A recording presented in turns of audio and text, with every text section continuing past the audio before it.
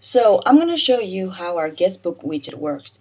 So the cool thing about this widget is that no database is required and it's based on CSV files that any PHP compatible server should be able to read and write. So this is our, our widget, our guestbook widget, and this is how it looks, this is our demo.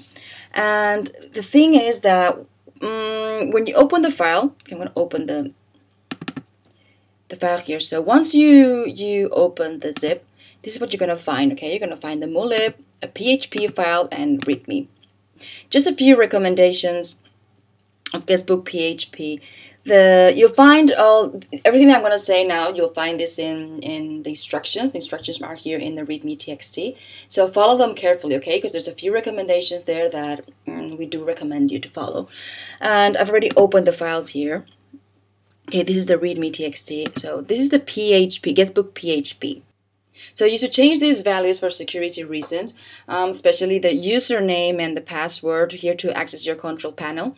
So right now, this username and password is to access our control panel from the demo, but you should you should change it, okay?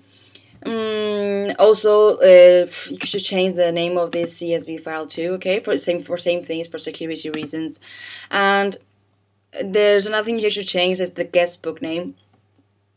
So for example, if you want to access your your um, your control panel from from your site, it would be like uh, your site, your domain.com slash assets slash guestbook php.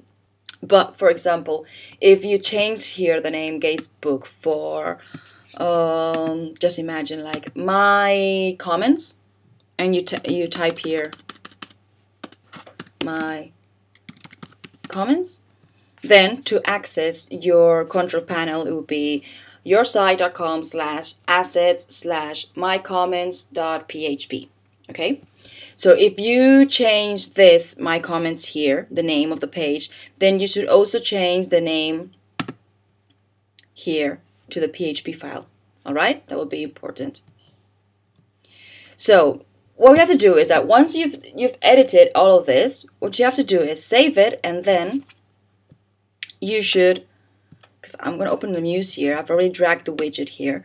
And so once you've done all that editing, what you have to do is open the options here and then you should attach. First thing you should do is attach, attach that PHP file here. Okay? You just click on this and then attach it. Mm, the rest of the options that we have here in our guest book they're all styling options. So you can change the default labels, name, email, message, submit, and I mean here it, it all looks the same, but it's just for in case like if you're Italian, you want it in Italian language. So you can change all the labels here. And here you can choose shadows, separated colors, title size, fonts, the button color. Um, you can change all this and for example the guest message settings. Um, you can choose among four pagination effect. Right now is climb. Um, you can choose the elements per page if you want four, you want two. That's for the paginations and you know the background opacity, the guestbook fonts. You can so these are all the styling options. Okay. You know you can do whatever you want here. So once we attach the guestbook PHP, what's going to happen is we are going to see sample comments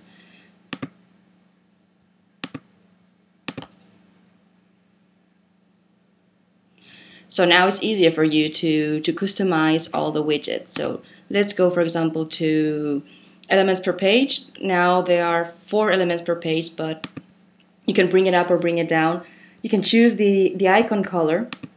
I'm going to change it to blue, for example. And author color,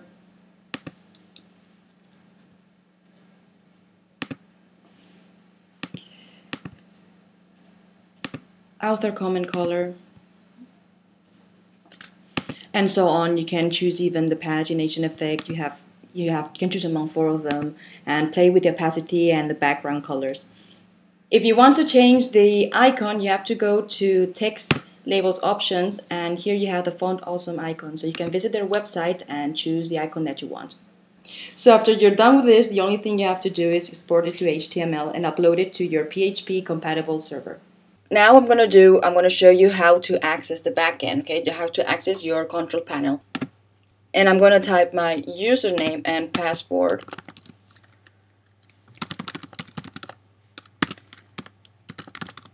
Okay I'm gonna click I'm not gonna say the password so this is the backend so here we have all our, our the comments, the username, the email, and the message.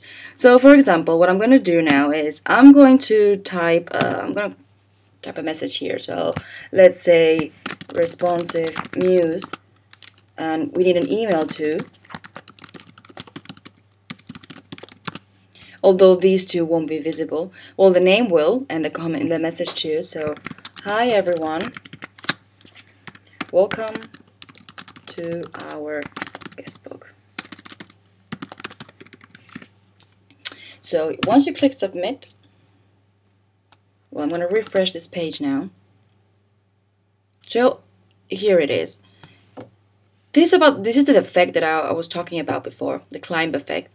So this is responsive muse. Oops, I haven't edited it. So this is I'm going to refresh the backend too, and this will appear here. So as you can see, I've misspelled responsive, so I can actually edit it here. Just gonna click on here and now I can do anything. Responsive muse. And you can actually delete the comment. Now I'm gonna save it. So if I refresh this, it should be corrected exactly. And you can actually, you know, if I want to delete it, you can delete this comment you can download everything here in a CSV file or you can log out.